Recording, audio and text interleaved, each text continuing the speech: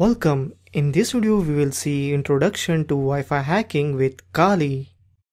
First we will see history of Wi-Fi and its vulnerabilities. Then we will see setting up environment for when testing. Then we will see different 4 ways to install Kali Linux.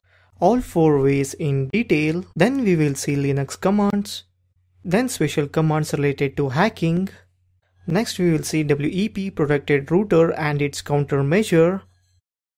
Hacking WPA and WPA2 with Reaver and its countermeasure. Then hacking WPA with dictionary.